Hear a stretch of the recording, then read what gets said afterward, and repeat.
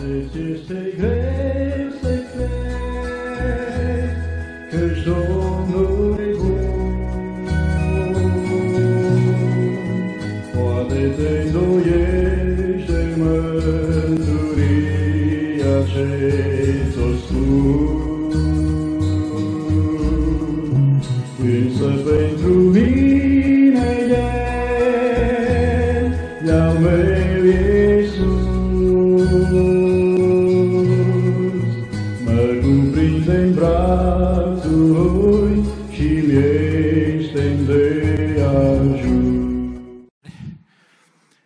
încălzit că vine primăvara, nu? Azi au fost 20 de grade, așa se spune. Bine. Bine ați venit la Casa Domnului să cântăm cântarea Voi cânta îndurarea Domnului, veșnic voi cânta. Voi cânta îndurarea Domnului meu, veșnic voi cânta. Voi cânta, voi cânta îndurarea Domnului meu, veșnic voi cânta îndurarea Domnului. Voi vesti că Dumnezeu un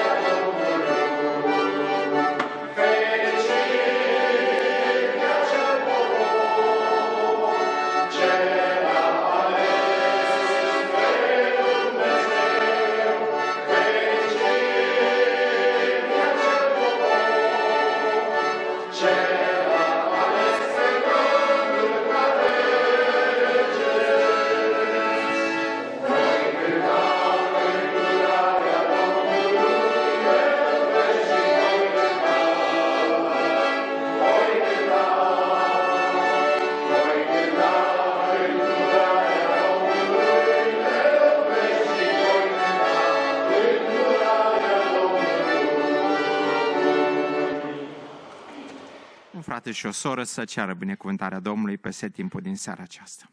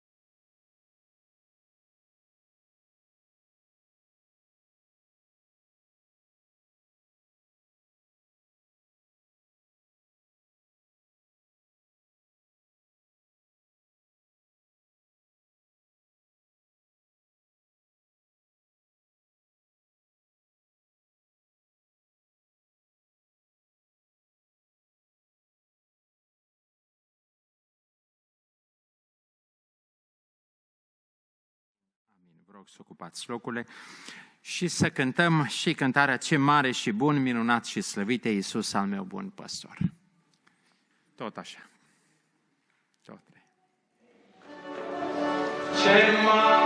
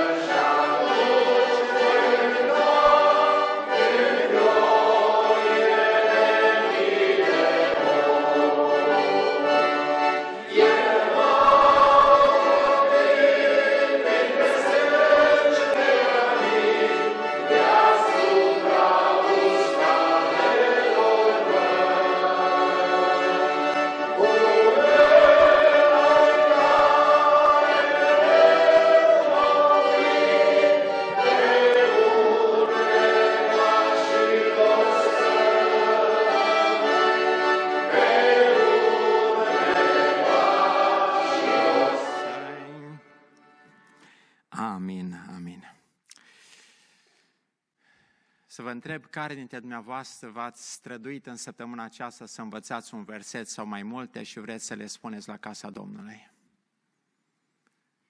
Care are un verset să ne spună și... Lidia, te rog, da.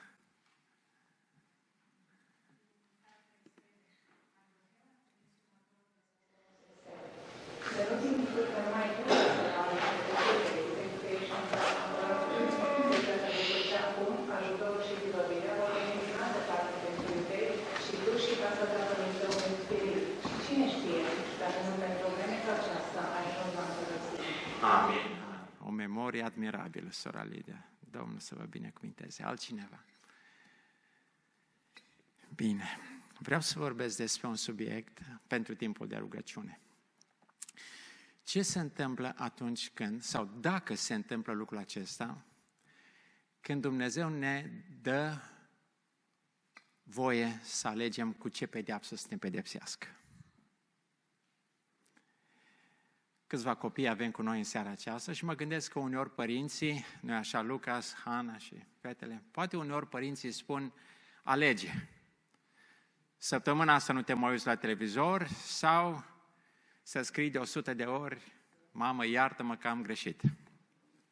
Și atunci copilul trebuie să aleagă. Sau alte pedepse pe care părinții le dau. Ce-ar fi ca Dumnezeu să spună, alege cu ce să te pedepsesc, că în săptămâna aceasta cine știe ce ai făcut. O singură dată în Biblie îl găsim pe Dumnezeu că spune cuiva, alege cu ce să te pedepsesc. Și îi dă trei alegeri. De obicei Dumnezeu nu face asta. Dar în cazul lui David a făcut-o. Și David nu i-a spus, Doamne, dar știi că am adus jerfe, trece cu vederea păcatul meu, consideră că jertfele acelea, sângele, au acoperit păcatele mele, să mergem mai departe. Eu așa m-aș gândi acum, Doamne, Domnul Iisus a purtat și păcatele mele pe cruce, ce mai vorbim de pedeapsă când Domnul Iisus a purtat păcatele mele? Dar în cazul lui David, nu și în alte cazuri. În alte, noi vorbim acum la Ezechiel despre pedepsele pe care Dumnezeu le dă poporului său și spune, te voi pedepsi cu foamete, cu sabie, cu ciumă și cu risipire. Vă risipesc în toate, între toate neamurile. Și nu le dă să aleagă, hai alegeți voi ce vreți dintre toate acestea și cât timp să dureze sau cât timp să nu dureze pedepsele acestea. Dumnezeu nu stă la discuție cu poporul său. După cum nu stă la discuție nici cu noi. Ce ar fi Dumnezeu să zică, alege, Teofil, cu ce cancer să te pedepsesc? Doamne, ce să zic? Știți că Australia e pe locul întâi la cancer de piele. Și probabil și cel mai vindecabil, că dacă îl găsești la timp, îți scoate alunița aceea sau ce se întâmplă la piele și ai scăpat. Dar dacă este un cancer din acela care mocnește și nu știi de el până e prea târziu, ce mai faci? Deci Dumnezeu nu ne dă nouă să alegem, dar în cazul lui David i-a dat. Și înainte de a vorbi despre lucrul acesta, m-am gândit că ar trebui să propun copiilor care vor merge în țară să le spună părinților să meargă la Mănăstirea Voroneț și să vadă frumusețea aceasta care se mai numește Capela Sixtina Orientului, construită de Ștefan cel Mare la 1488. Cine știe în cât timp s-a construit Voronețul? Bravo, Sorana! Trei luni, trei săptămâni și trei zile.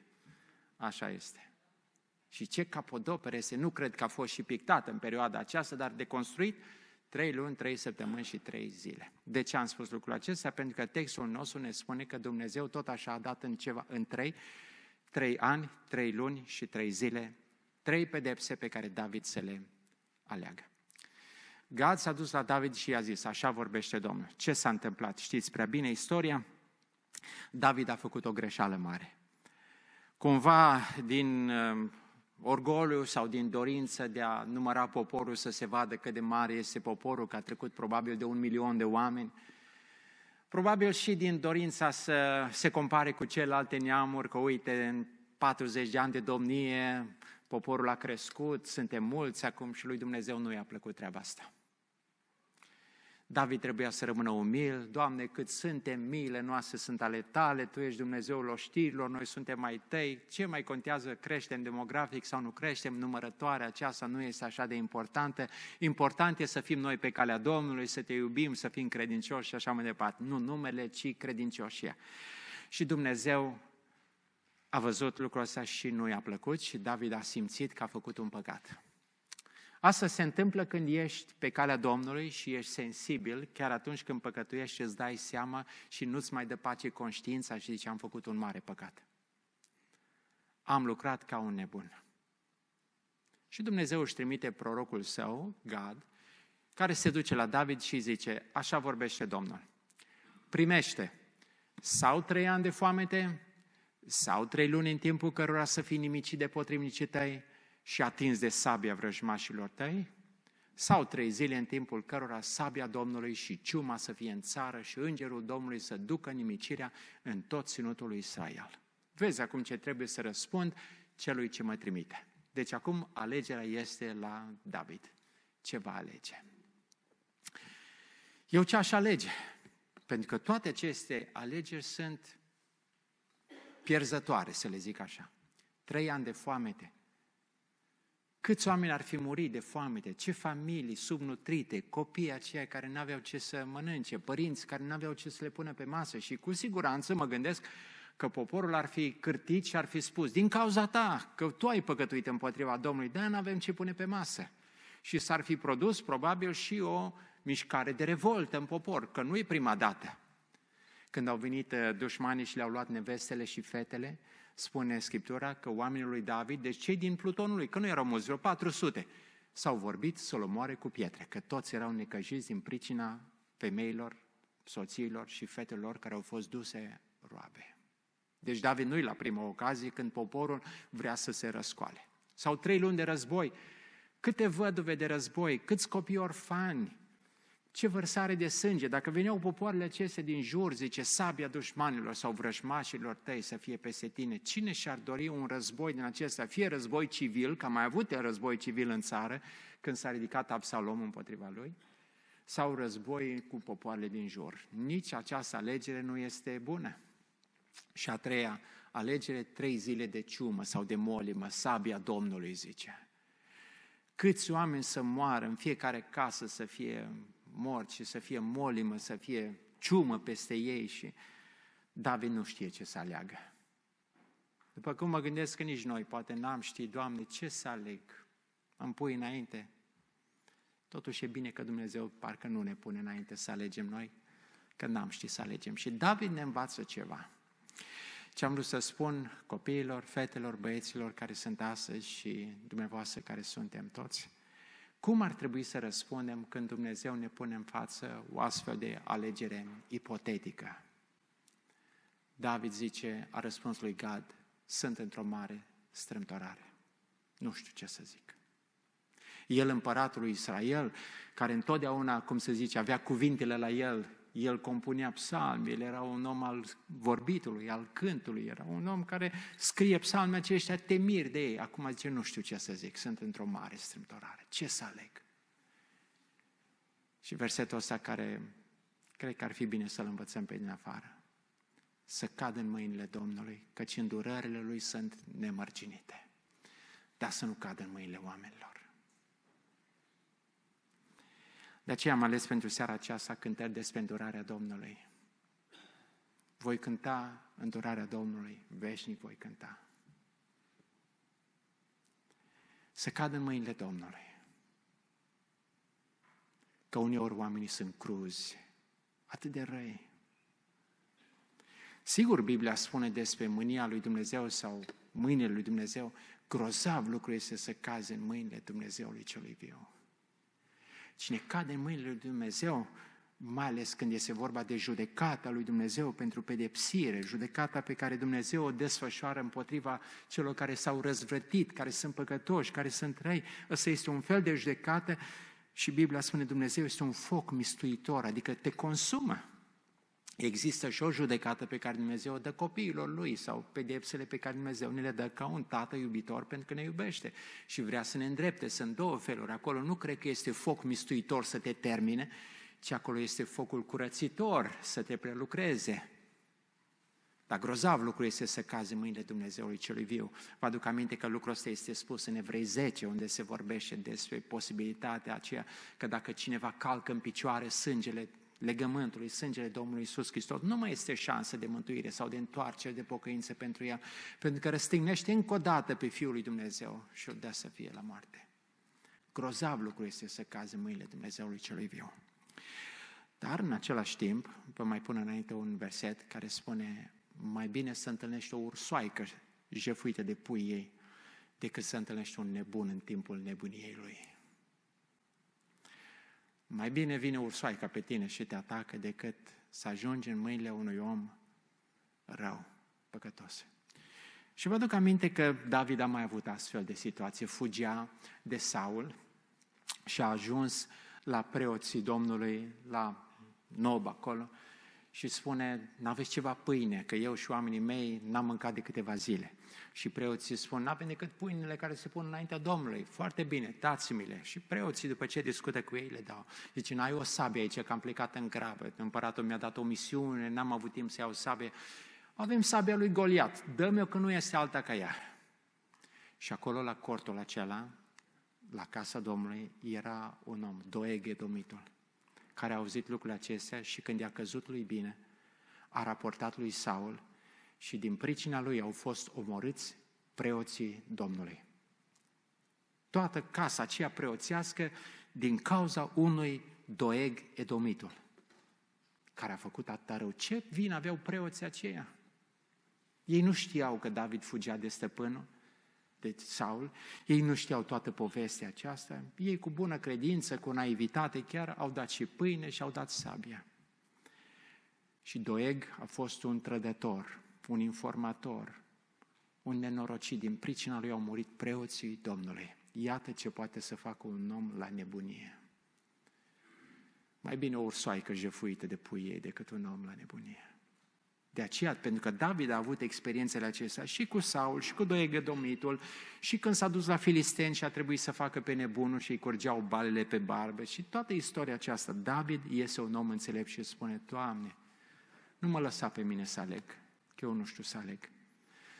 Mai bine să cad în mâinile Domnului decât în mâinile oamenilor. Și lucrul acesta, secole după secole, a fost dovedit a fost verificat că așa este. Mai bine cădem în mâna Domnului decât în mâinile oamenilor.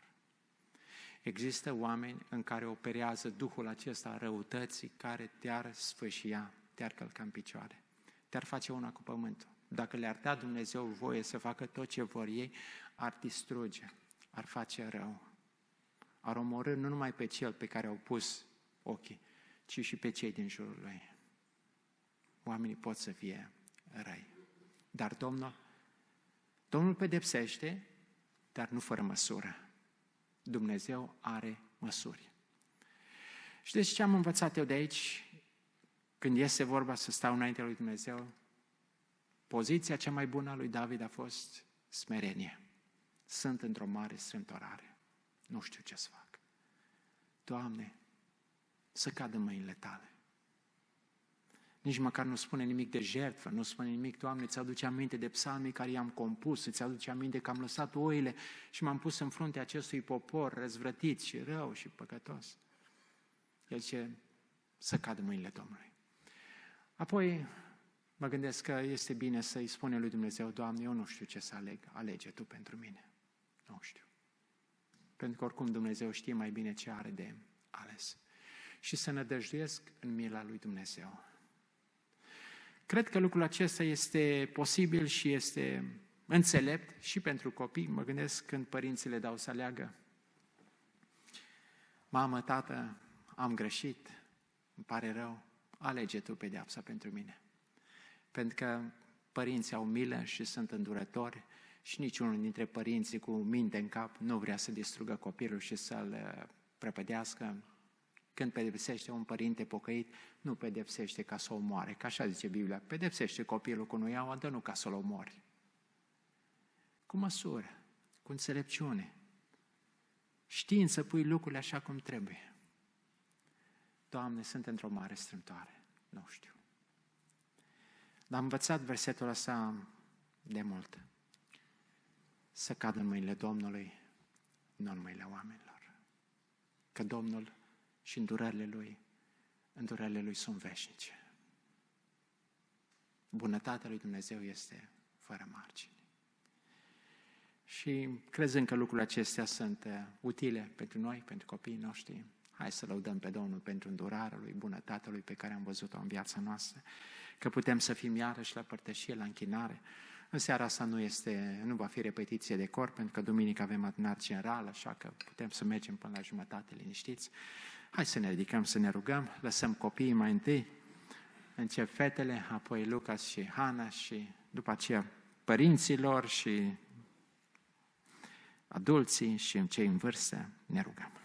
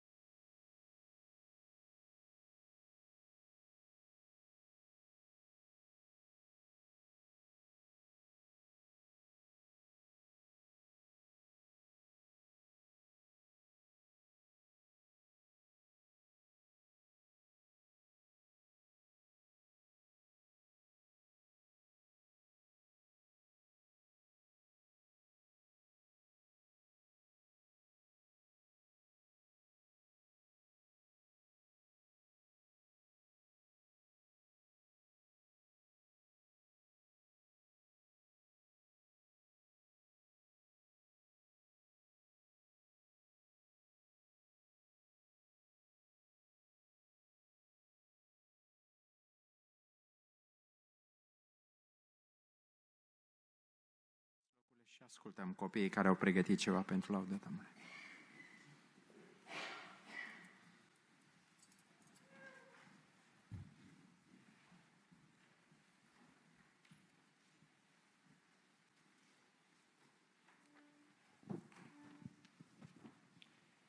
Noi pe lui Iisus asemenea, nimeni, nimeni,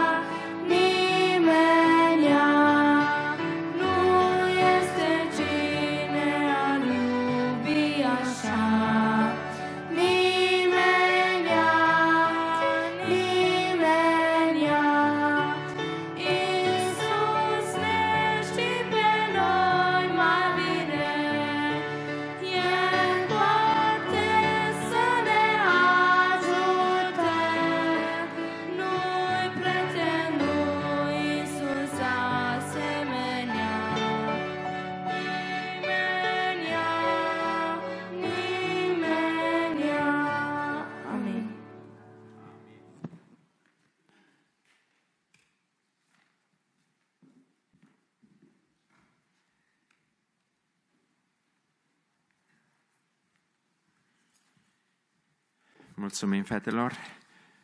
Dacă dintre copii nu mai au, poate din copiii Domnului au ceva și vor să ne spună. Așa cum am spus, duminică dimineață vom avea adunarea generală, începem cu rugăciune și apoi cu membrii bisericii vom rămâne să avem adunarea generală, iar seara avem servicii de la ora 6. Haideți acum să cântăm o cântare, tot în re major va fi și uh, aducem și darul de bunăvoie înaintea Domnului. Ne pregătim apoi să citim cuvântul și să ascultăm. Ține-mă în mâna ta, re major. Ține-mă în mâna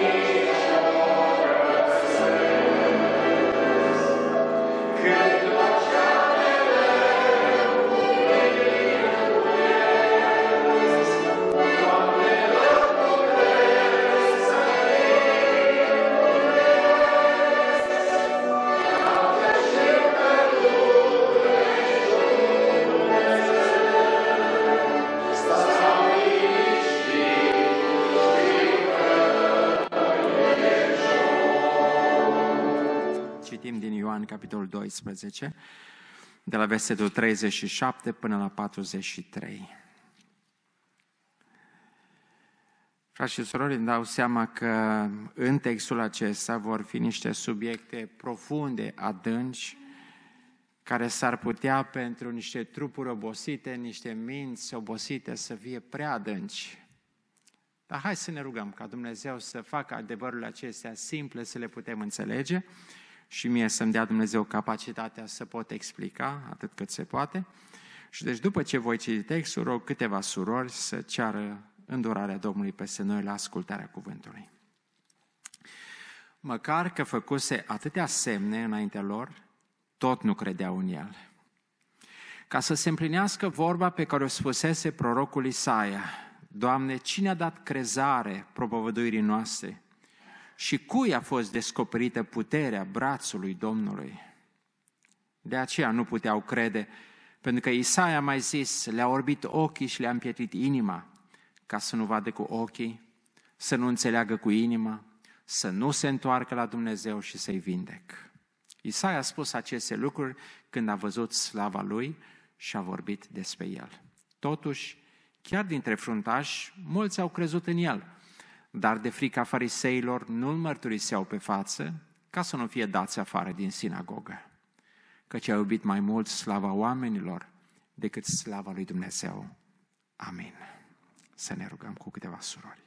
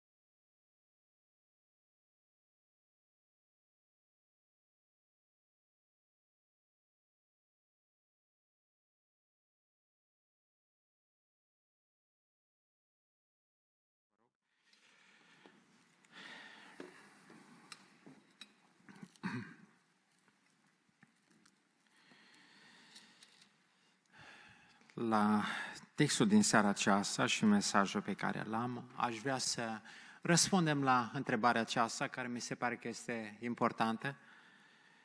De ce nu cred oamenii în Domnul Isus?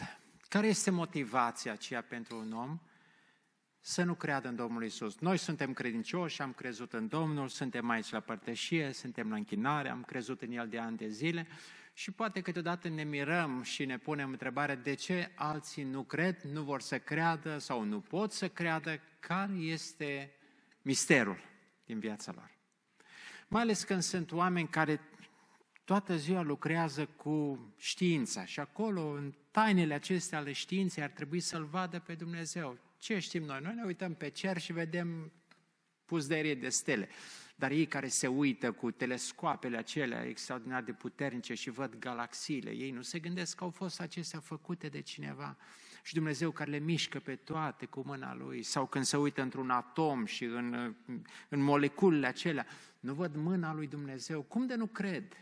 Cum de nu cred? Ce îi oprește să creadă?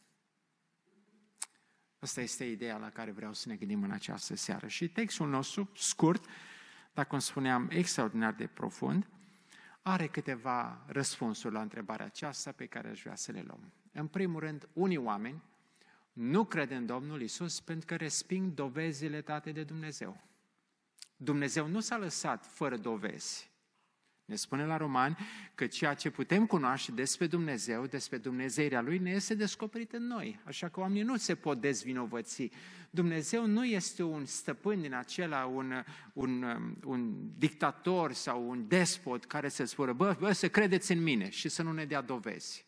Dumnezeu este un Dumnezeu rațional, să-i spunem așa, care, da, credeți în mine și uite care sunt dovezile. Toate acestea le-am făcut cu mâna mea, toate sunt lucrarea mâinilor mele, cerurile spun slava lui Dumnezeu. Dumnezeu nu s-a lăsat fără dovezi. Și când a venit Domnul Iisus Hristos, El n-a venit doar așa să ceară ceva teoretic de la oameni, credeți în mine, ci a făcut minuni și semne. Și tocmai așa începe Ioan, evanghelistul, să spună, deși făcuse atâtea semne, înaintea lor. Tot nu credeau în El. Deci un motiv pentru care oamenii nu cred în Dumnezeu sau unii oameni nu cred în Dumnezeu este pentru că nu se uită la dovezile acelea, nu iau aminte la dovezile din viața lor sau din trăirea lor, din jurul lor și ca urmare nu cred în Dumnezeu. Deci Dumnezeu a presărat în viața noastră niște evenimente, niște lucruri, niște fenomene naturale sau minuni pe care le întâmpinăm sau lucruri pe care le trăim și atunci să spunem, asta numai Dumnezeu a putut să facă. Numai Dumnezeu a intervenit sau dacă Dumnezeu nu era, eram pierdut. Vai de mine! De n-ar fi fost Domnul de partea noastră, spune Israel. Să spună Israel acum. Când dușmanii erau împotriva noastră, când au năvălit peste noi, când au fost gata să ne mănânce de vii, era o dovadă că Dumnezeu ia apărarea noastră. Exact cum a spus fratele, vă aduceți aminte când a fost cu vocea martirilor, despre soțul acela care își urmărea soția cu cuțitul în mână să o omoare. Cine l-a oprit? Ce zid a fost între el și soția lui de el n-a putut să o omoare? Și pot și eu să vă povestesc de o soră de la Timișoara care mi-a arătat ușa toate cu găuri de cuțit. Zice, uite frate cum a dat după mine, dar niciodată nu m-a nimerit. Dumnezeu m-a păzit. Deci, o astfel de femeie care a văzut minunile lui Dumnezeu și lucrările extraordinare ale Domnului, poate să spună, e, a fost întâmplare, a fost o coincidență. Nu, Dumnezeu a păzit-o. Deci minunile acestea, semnele pe care Domnul Iisus Hristos le-a făcut în mijlocul lor, trebuia să-i conducă la credință. Scopul minunilor este să ne conducă la credință și să întărească credința noastră. În vremea bisericii primare, Dumnezeu făcea minuni și semne în mijlocul lor, dovedind în felul acesta că Evanghelia care li se predica era adevărată Evanghelie. Era vestea pe care ei trebuiau să o primească. Și când uh, Ioan Botezătorul, spre exemplu, este într-o perioadă în aceasta de depresie sau de îndoială, nu știe ce să mai creadă, din închisoare trimite vorbă prin ucenicii lui. Duceți-vă și întrebați-l, tu ești sau să așteptăm pe altul? Ce răspunde Domnul Isus? Duceți-vă și spuneți șchiopii umblă, orbii văd, muții vorbesc, săracilor li se predică Evanghelia, ferice de cel care nu găsește o pricină de potignire în mine. De ce a pus Domnul Isus aceste minuni înainte? Pentru că el era o dovadă că el era cel care trebuia să vină. Măcar că făcuse atâtea semne înaintea lor, deci nu în umbră, nu undeva nascuns, înaintea lor tot nu credeau în el. Și ultimul semn care l-am văzut în capitolul 11, învierea lui Lazar, Mulți au crezut în el, dar unii s-au dus și au vorbit cu farisei, iată că omul acesta face tot fel de minuni, hai să-l omorâm. De ce n-au crezut? Pentru că avuseseră semnul în mijlocul lor. Dovezi extraordinare. Și spune la Evrei, capitolul 2, după ce, sau capitolul 1, după ce ne-a vorbit în fel și chip, la sfârșit Dumnezeu ne-a vorbit prin Fiul. În capitolul 2 spune, Evanghelia a fost predicată cu putere, cu minuni și semne și Dumnezeu însoțea predicarea Evangheliei cu aceste dovezi ca oamenii să creadă. Ei, sunt oameni care nu cred aceste dovezi. Auzeam astăzi despre Immanuel Kant, care a fost un mare filozof. Filozof, așa cum a fost el, a zis așa, două lucruri mă umplu de uimire. Bolta înstelată de deasupra și glasul conștiinței din inima mea. A nimerit-o foarte bine. Natura vorbește despre Dumnezeu, conștiința este glasul lui Dumnezeu în noi și nu-l poți ignora. De unde avem noi sentimentul acesta de rușine, de pudoare, de să ni se umple fața de rușine sau să ne înroșim? De unde? Sau de vinovăție? de la glasul acela care ne vorbește, ai făcut o prostie, ai spus ceva ce nu trebuia, să-ți fie rușine. Nu trebuie să zică cineva, pentru că glasul din tine este glasul lui Dumnezeu. Este o dovadă că Dumnezeu există. Deși făcuse atâtea minuni, tot nu credeau în el. Spun lucrul acesta ca un, știu, un îndemn pentru părinți, pentru noi bunici, să vorbim copiilor noștri și când prindem ocazia să le spunem despre mare lucrări a lui Dumnezeu. Pentru că vă aduceți aminte în Psalmul 78, vom spune copiilor noștri după noi, neamului de oameni care va veni mare lucrări a lui Dumnezeu, puterea și semnele lui, pentru ca și ei să creadă în el. Să nu fie ca părinții lor încăpățânați și să nu vor să creadă. Le vom povesti lucrările Domnului. Deci asta este o modalitate prin care putem să inspirăm în copiii noștri măreția lui Dumnezeu, minunile pe care le-a făcut ca să-i ducă la credință. Dar tot nu credeau în el. De ce? Și de data aceasta Ioan leagă prorocia lui Isaia. de textul acesta este nu numai o povestire, că ni se povestește ce s-a întâmplat, ci este o legătură cu Isaia, cu textele profetice din Vechiul Testament ca să se împlinească vorba pe care o spusese Isaia. Ce vorbă? Doamne, cine a dat crezare propovăduirii noastre și cui a fost descoperită puterea brațului Domnului? Cu siguranță, Ioan se referă aici la Isaia 53. Cine a crezut în ceea ce ni se vestise? Cine a cunoscut brațul Domnului? Psalmul acesta care este clar despre Domnul Isus, despre Mesia. Este drept că el folosește aici o, o o citare aproximativă. El nu citează cu cuvânt cu cuvânt, dar ideea este aici. Cine a dat crezare propovăduirii noastre? Isaia spune, cine? Cui a fost descoperit puterea brațului Domnului?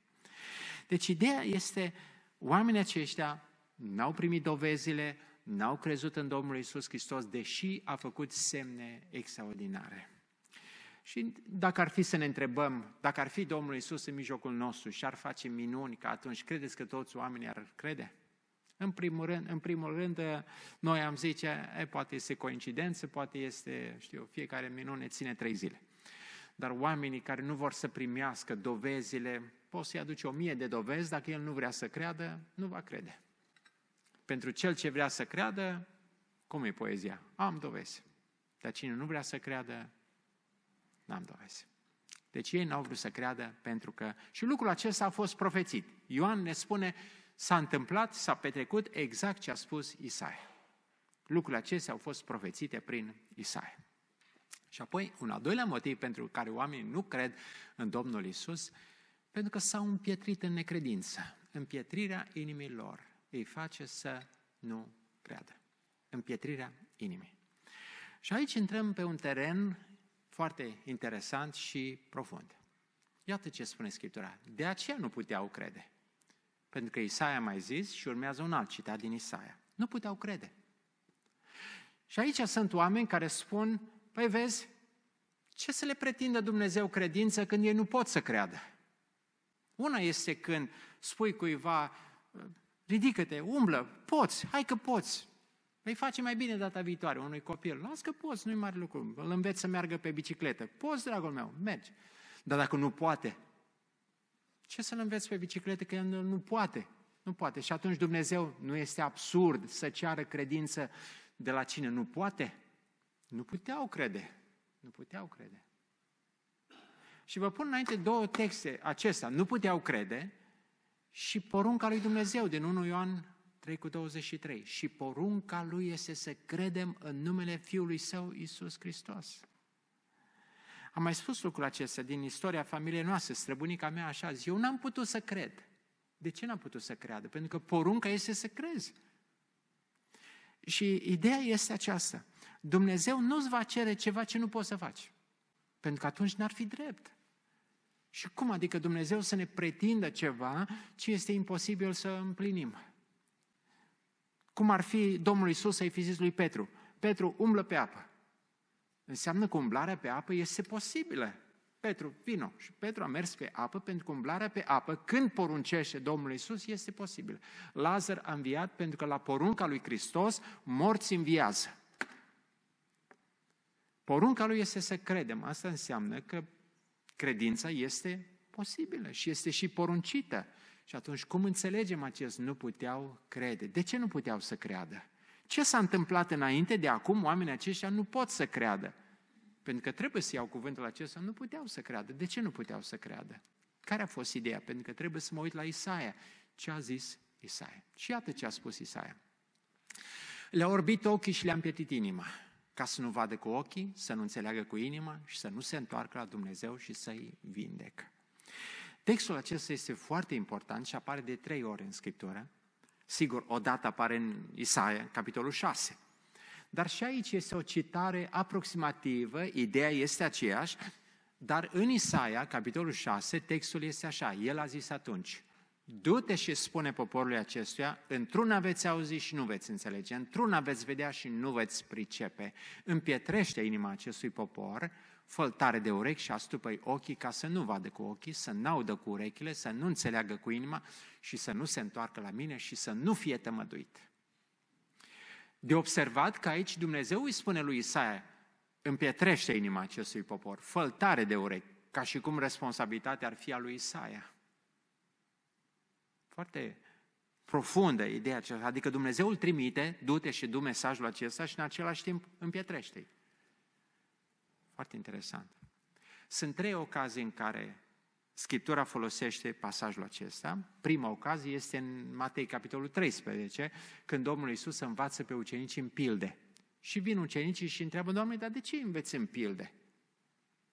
Ai zice că o pildă este un mijloc prin care, sau o modalitate de vorbire prin care transmiți un adevăr, ca tot omul să priceapă. Și totuși Domnul Iisus spune, vouă vi s-a dat harul acesta să cunoașteți lucrurile împărăției, dar ei, deși văd, nu văd, deși aud, nu aud, pentru că li s-a împietit inima. Asta este în Matei 13. Al doilea text este aici, în Ioan, capitolul 12, iar al treilea este în uh, Faptele Apostol, capitolul 28 și vom citi și din uh, textul acesta. Când Apostolul Pavel este la Roma, și adună pe liderii iudeilor și aceștia încep să discute și el le spune Evanghelia, le prezinte mesajul și zic, noi nu știm și au început să, să se împrăștie și discutau unul cu altul și Pavel le zice, bine a spus Isaia despre voi, poporul să mă cinstește cu buzele, dar cu inima este departe de mine. Voi v-ați împietrit. Deci cred că aici soluția sau ideea este următoarea. Oamenii aceștia nu pot să creadă pentru că s-au împietrit au avut dovezi după dovezi, l-au avut pe Domnul Isus în mijlocul lor, au avut harul acesta să-L aibă pe Hristos în mijlocul lor, dar s-au împietrit. Se întâmplă ceea ce a făcut Dumnezeu cu Faraon. Când Faraon a avut dovezi după dovezi, când brațul lui Dumnezeu, toiagul lui Moise, mâna Domnului a fost peste Egipt și a apăsat și a apăsat, apa petrecută în, prefăcută în sânge, întunericul de trei zile, broaște, muște, Uh, ciuma vitelor, uh, toate acestea venite peste el și el se împietrește, se împietrește. Și la urmă Biblia zice și Dumnezeu l-a împietrit pe faraon. Era deja prea târziu. Deci o respingere constantă, programată, constantă, întotdeauna omul care respinge, până la urmă ajunge de nu mai poate să creadă. Pentru că s-a împietrit, a trecut de linia aceea când putea să mai creadă. S-a împietrit. Am găsit citatul acesta al unui comentator care a trăit pe în secolul XIX și mi s-a părut că este explicația cea mai bună a acestui paragraf. Aceasta nu înseamnă că Dumnezeu a cauzat împietrirea unor oameni ca să nu ajungă la mântuire. Adică nu Dumnezeu îi împietrește pe oamenii aceștia ca să nu ajungă la mântuire, că Biblia spune Dumnezeu vrea ca toți oamenii să fie mântuiți. Deci Biblia nu se poate contrazice pe sine și Dumnezeu vrea mântuirea tuturor oamenilor. Dar împietrirea și orbirea lor sunt efectele respingerii Evangheliei. Nu Dumnezeu a cauzat necredința lor, ci ei, necrezând, au ajuns la faza aceasta de împietrire și resping Evanghelia. Împietrirea este un efect al respingerii constante a adevărului. Și citesc acum textul din Faptele 28. Bine a spus Duhul Sfânt prin prorocul Isaia către părinții voștri, zice Pavel liderilor din uh, Roma, când a zis, du-te la poporul acesta și zi, veți auzi cu urechile voastre și nu veți înțelege. Cu ochii voștri veți privi și nu veți vedea. Căci inima acestui popor, aici este explicația, căci este explicația, căci inima acestui popor s-a împietrit. Ei aud greu cu urechile și au întors ochii ca nu cumva să vadă cu ochii, să audă cu urechile, să înțeleagă cu inima, să se întoarcă la Dumnezeu și să-i vindec. Deci, încă o dată, se dovedește principiul eh, interpretării Scripturii Biblia se explică cu Biblia, Scriptura se explică cu Scriptura. Ce înseamnă că nu puteau să creadă? Înseamnă, conform lui Isaia și a celorlalte pasaje pe care le-am citat, este faptul acesta. O respingere repetată, constantă, voită, răuvoitoare, duce până la urmă la împietrire. Împietrirea inimii.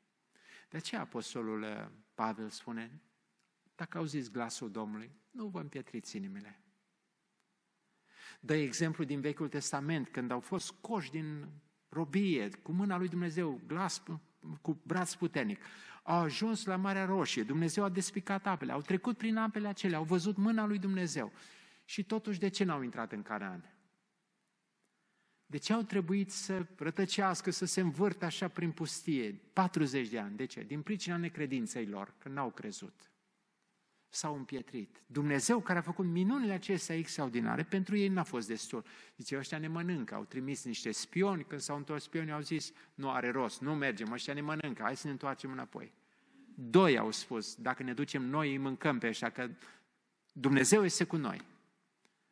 Noi au crezut și Dumnezeu a trebuit să intervină și inima lor s-a împietrit. Și de aceea Apostol Pavel spune, lucrurile acestea au fost scrise pentru noi, nu vă împietriți ca în ziua de la Masa și Meriba, nu vă împietriți ca poporul Israel în pustie, nu lăsați ca această respingere constantă să vă ducă la împietrire. Înțelegeți că Dumnezeu vă vrea binele. Deci pericolul acesta este și astăzi oameni care ascultă și ascultă și ascultă și care nu au dorința aceea de a, de a înțelege mai mult, ci pur și simplu caută nodul acela în papură și vor să înțeleagă niște lucruri care, știu eu, în loc să ia mântuirea lui Dumnezeu prin credință și să o primească și cuvântul să spună, nu înțeleg toate lucrurile, dar cred tot ce este scris, ajung la o stare de împietrire încât, până la urmă, spun, nu mai cred. Nici nu poate să creadă. Deci, soluția pe care o dă cuvântul aici este împietrirea inimilor i-a dus, sau respingerea repetată i-a dus la starea aceasta de împietrire și nu puteau să creadă. Pentru că așa a spus Isaia, se vor împietri. Este un popor împietrit, un popor încăpățânat. Poate să vină Isaia, poate să fie Neeremia, poate să vină Ezechiel, Trimite pe un altul, pe Iona, poate să vină și Amos, și Cefania, și Hagai, și Zaharia. Nu contează, poporul ăsta s-a împietrit.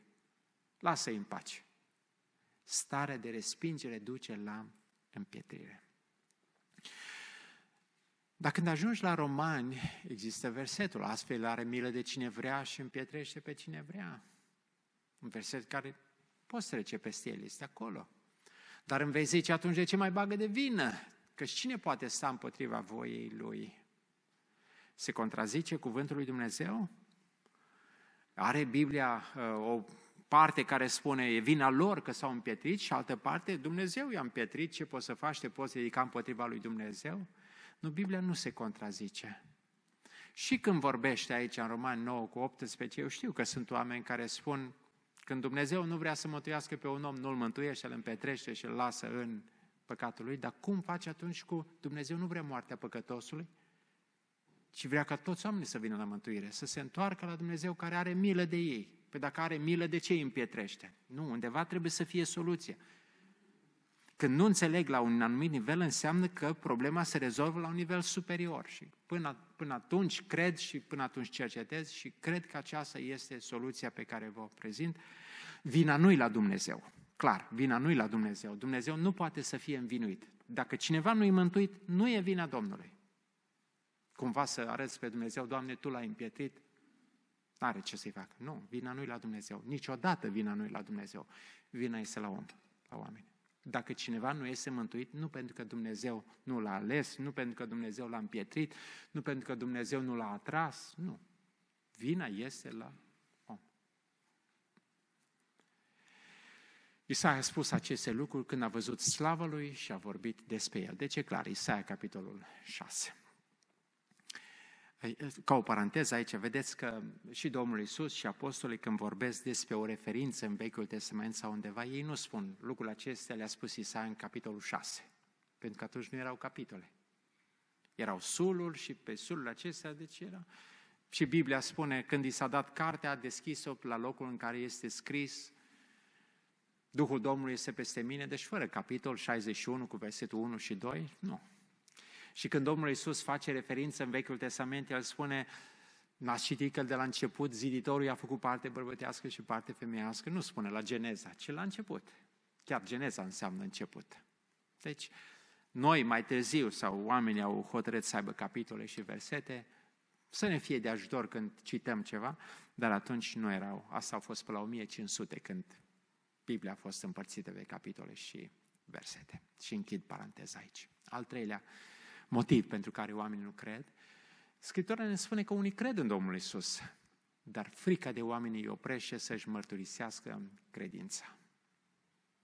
Așa scrie. Totuși, chiar dintre fruntași, dintre liderii poporului Israel, unii sau mulți au crezut în el. Au crezut în el. Acum, este credința aceasta mântuitoare? Este validă? Este credința adevărată? Este credința care îi duce de aici dincolo? Este credința care îi place lui Dumnezeu? Dar de frica fariseilor nu-l mărturiseau pe față, ca să nu fie dați afară din sinagogă. Și Scriptura se explică din nou cu Scriptura. Ce a spus Domnul Isus despre cei care se vor rușina de El în fața acestui neam ticălos și stricat? Mă voi rușina și eu înaintea Tatălui meu care este în ceruri. Dar pe cine mă va mărturisi înaintea oamenilor, îl voi mărturisi și eu înaintea Tatălui meu care este în ceruri.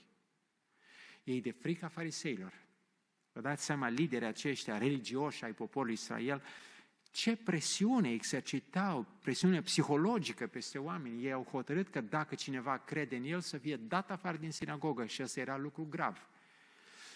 Doar câteva repercursiuni erau. În primul rând, dacă erai dat afară din sinagogă, nu te mai îngropau. În caz de deces, nu te îngropau. Și atunci ce făcea? Ce făcea familia? În caz de dare afară din sinagogă, de excludere din sinagogă, un evreu nu mai putea să cumpere în piață, nu mai putea să facă afaceri, nu mai putea să facă negustorie, era pur și simplu condamnat la sărăcie, pentru că toți oamenii se fereau de el, este exclus, este excomunicat din sinagogă. Apoi toată lumea l-a arătat cu degetul și nu numai că farisei erau împotriva lui, dar toată lumea, uite mă, ăsta e exclusul sau ăsta e dat afară.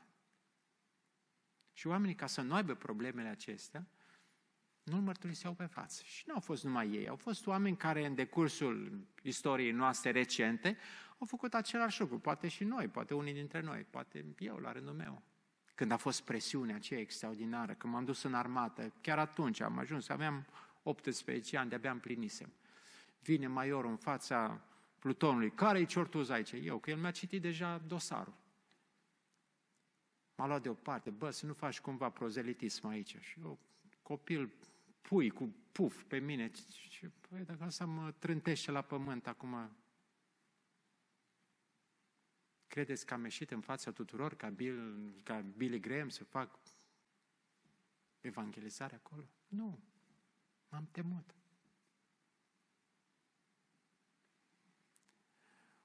Unii n-au spus pentru că își pierdeau locurile de muncă, mai ales dacă aveau copii și trebuiau să-i hrănească și le-au spus, dacă cumva te mai duci la biserică și nu s-au dus, s-au dus pe sate, nu s-au dus în orașul lor ca să nu-i vadă lume. S-au dus undeva într-un sat, n-au spus. După Revoluție au venit și au spus, fraților, iertați-mă, am stat și eu ascuns. Și asta, uite, au crezut în el, dar nu mărturiseau pe față de frica fariseilor ca să nu fie dați afară din sinagogă, sau din serviciu, sau de la piață, sau așa mai departe.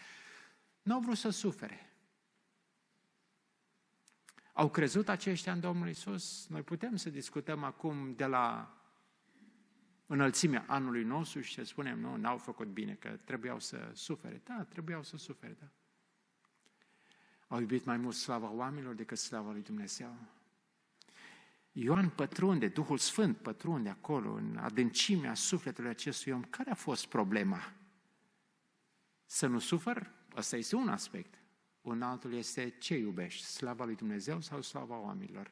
Aplauzele celorlalți, bă, tu ești un evreu model. Dar au iubit mai mult slava oamenilor decât slava lui Dumnezeu. Și Scriptura ne vorbește despre un Nicodim care la începutul l-a căutat pe Domnul Isus, apoi îl urma pe ascuns. După ce a murit Domnul Isus, a început și el să se arate un pic mai...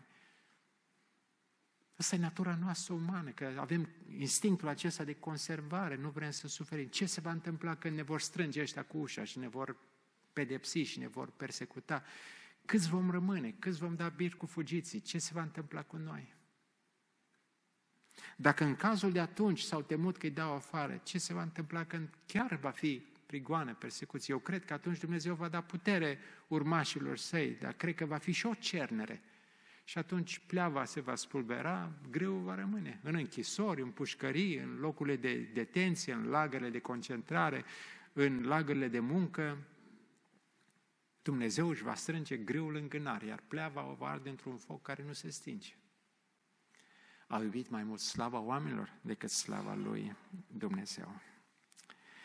Și mai vorbește Ioan despre o categorie în Ioan capitolul 2, spunând pe când era Iisus în Ierusalim la praznicul Paștelor, la începutul lucrării sale, deci acum vreo trei ani în urmă, mulți au crezut în numele Lui, că își vedeau semnele pe care le făcea. Deci, din nou, cercul se închide. Au văzut dovezile și au crezut în El. Dar, ei, Domnul Iisus nu se încredea în ei.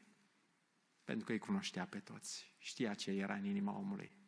Spune versetul 25, el nu are trebuință să-i spună cineva ce este în inima cuiva. Îi cunoaște pe toți. Nici măcar nu trebuie să se ducă la și o psiholog, psihiatru, să stea de vorbă cu el și să-i spună ce gândește. Domnul știe ce e în gândul fiecăruia. Știe ce este în inimă. Domnul nu se încredea în ei. Este și un joc aici de cuvinte. Mulți s-au încrezut în el, dar Domnul nu se încredea în ei. Mulți au crezut, este același cuvânt, mulți au crezut în el, dar Domnul Iisus nu credea în ei. Nu erau de bază. Nu te puteai baza pe ei. Erau doar că au văzut niște semne. Dar dacă nu vezi semne, ce se întâmplă? Dacă nu te vindecă Domnul, ce? Mai crezi în El sau nu crezi? Dacă Domnul nu face cum îmi place mie, mai cred în El sau nu? Asta e întrebarea de aici. Și deci în încheiere câteva întrebări de pus și răspunsuri de dat. În primul rând, accept eu dovezile pe care mi le dă Dumnezeu ca să cred în El sau înăbuș adevărul, dovezile acestea ca să rămân în necredință de dragul păcatelor mele.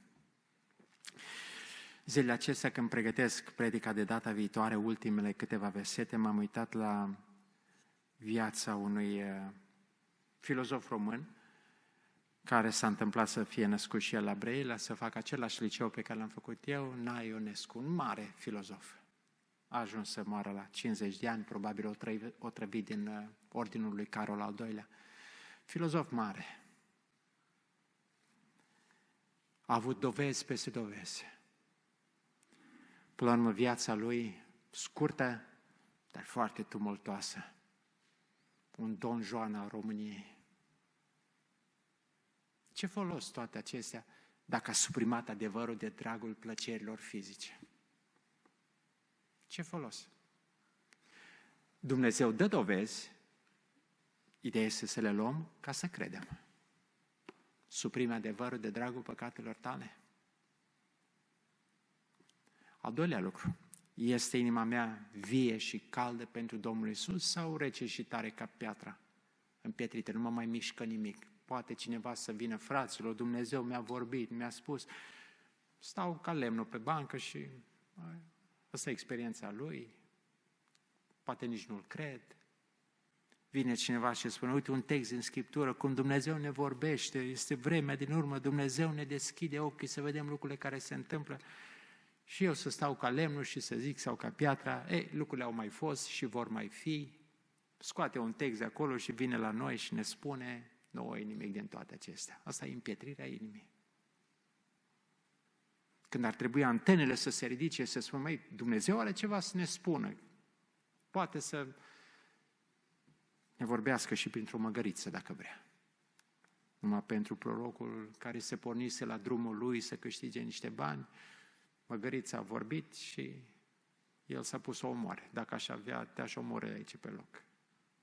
Inima împietrită. A treia întrebare, îl mărturisesc pe Domnul Isus chiar dacă aș avea de suferit pentru mărturisirea aceasta? Asta este o întrebare, pentru că, repet, este instinctul acesta de conservare care spune, bă, capul plecat, sabia nu-l taie. Nu e și în relief. Nu spune tu. Tu îți credința ta, până la urmă nu e așa? Credința este, nu așa spun și politicienii, credința este un lucru personal. În inima ta crezi, nu trebuie să o publici la ceilalți. Ține-o pentru tine. De ce să o scoți pe piață? De ce să spui altora? De ce să te expui? ai de suferit și vom avea de suferit. Și asta ne pune, uh, ne pune întrebarea. Dacă ar fi să plătesc mărturisind, o voi face sau mă ascund de dragul uh, să rămân în viață sau să-mi păstrez beneficiile și celelalte? Am auzit istoria aceea, nu știu cât este de adevărată, pentru că sunt unele lucruri și multe care circulă și sunt uh, neadevărate, dar am auzit undeva că au intrat doi ruși într-o biserică și erau cu armele la ei și au spus, care sunteți creștini aici? Mâna sus. Și numai două surori sau doi frați au ridicat mâna că sunt ceilalți, au plecat, i-au scos afară pe ceilalți și rușii aceștia au zis, pace fraților, surorilor, v-am scăpat de ăștia care erau numai falși. Sunt gata să ridică mâna, să spună, da, și eu sunt. Ce ar putea să-mi facă omul? Domnul este lumina și mântuirea mea. De cine să mă tem? Și au de spus că nu este persecuție. Maxim Mărturisitorul, sfânt din istoria bisericii, a semnat că se leapă de Hristos pentru că era persecuție, era prigoană. Și apoi eh, i-au dat drumul și i-a părut rău, conștiința al mustra. Când a venit înapoi la anchetator, zice, mâna asta să o, să o băgați în foc prima, că cu ea a însemnat.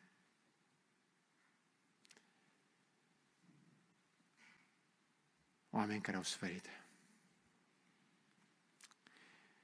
Știi că dacă nu crezi în Domnul Isus pentru mântuire, nu-L poți învinui pe Dumnezeu. Dumnezeu nu poate să fie învinuit. Este principiul Scripturilor și al creștinismului.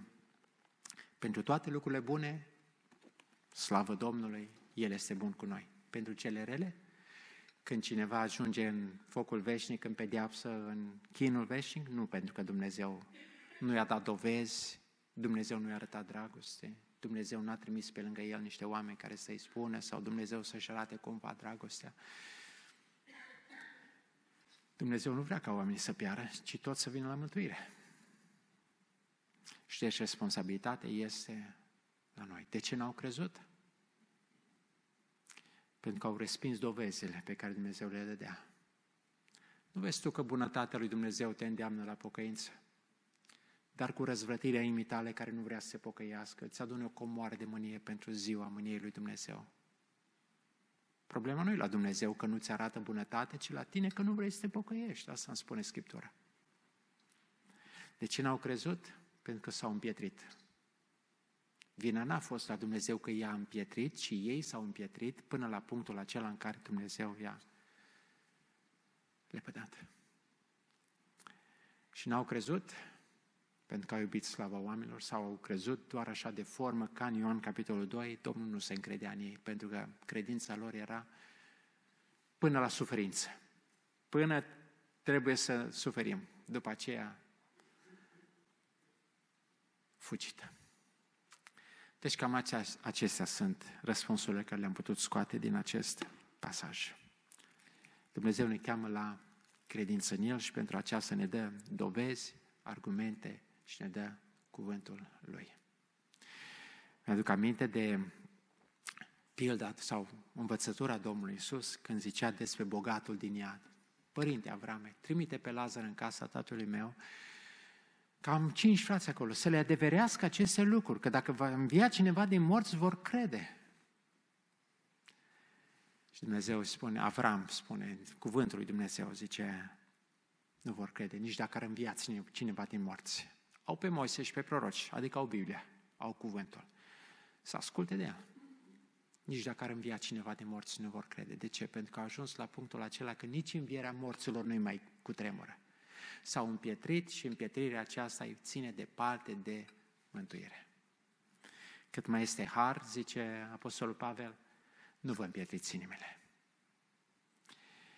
Este pe sfârșit de istoria.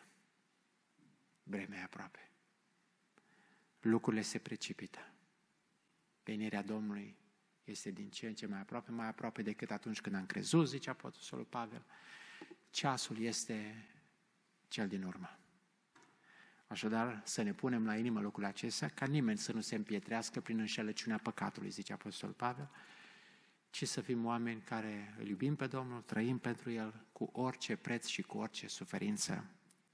Amin. Să ne ridicăm, să ne rugăm.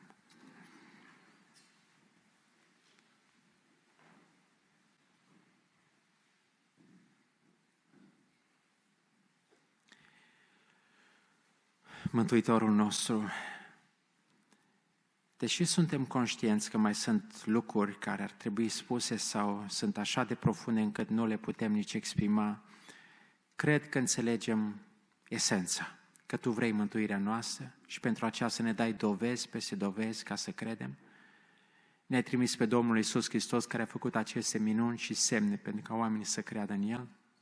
L-ai trimis să ne aducă mesaj de la tine și n-a vorbit de la el, ci numai de la tine, ca toți cei care aud și avertizări să nu ne împietrim, pentru că vrei mântuirea noastră. Și te rog pentru mine, pentru frații mei care suntem aici, pentru surori, pentru copii și pentru toți ai noștri, fiecare unde se află, Doamne, ajută-ne să fim oameni credinți, cu credință, care credem în Tine pentru mântuirea sufletelor noastre. Pentru cei care sunt la margine, chiar acolo la granița aceea, aproape, aproape să treacă în împietrire, pentru că atât de mult au respins. Doamne, mai dă-le har, mai cheamă-i, mai arată-le, mai invită-i, mai spune-le, Doamne, și ajută-ne și pe noi să nu încetăm să ne rugăm pentru ei, ca nu cumva să cadă în împietrire și să aibă o sânda diavolului. Doamne, te rog, ajută-i să creadă în Tine și dă-le dovezi și dă-le cuvântul Tău și pe noi ajută-ne să fim acei martori credincioși care să spunem cuvântul Tău cu dragoste, cu uh, chemare la Tine, ca oamenii să creadă și să fie mântuiți. Și ajută-ne, Doamne, cum am învățat în seara aceasta, credința noastră să nu fie limitată doar la vremuri bune, când nu suferim și nu ne dă nimeni afară, ci ajută-ne să Te iubim și să Te slujim, să credem în Tine și acum când ne este bine și atunci când va fi greu și va fi suferință. Ajută-ne pe fiecare Ajută biserica noastră în privința aceasta, binecuvintează-ne întotdeauna cu Duhul Tău cel Sfânt care să ne lumineze Scripturile și să ne arate lucrurile din viața noastră care trebuie să le schimbăm. Și când Duhul Tău este în noi și locuiește în noi, știu că El ne va da și putere să trecem prin vremurile care vor veni. De aceea umple-ne și în seara aceasta cu cuvântul Tău și cu Duhul Tău cel Sfânt, care să putem să ducem o viață de credință, ca la sfârșit să te vedem față în față. Binecuvintează biserica, binecuvintează-ne pe fiecare și seara aceasta și ziua de mâine și duminică să fie sub binecuvântarea ta. Cerem acestea în numele Domnului Isus Hristos cu mulțumire. Amin. Domnul să fie cu noi.